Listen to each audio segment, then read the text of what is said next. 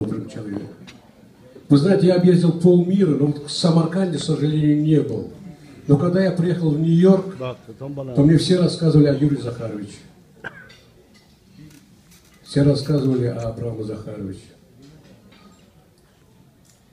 Я просто удивляюсь, вот как дедушка Завулун и тетушка Никодам вот в то время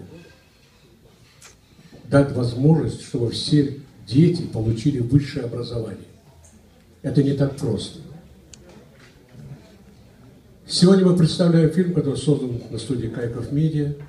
Вот за такое короткое время мы должны были показать всю жизнь этого человека. И работая над фильмом, мы невольно становимся как бы членами этой семьи, потому что мы видим его, как он говорит, как он общается с детьми.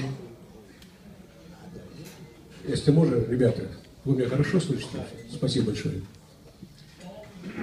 И сегодня я хочу обратиться к детям, замечательным детям, Захару, Анжеле, Арнольду. Дело в том, что всегда помните, что то, что вы достигли в этой жизни, вы обязаны своим родителям.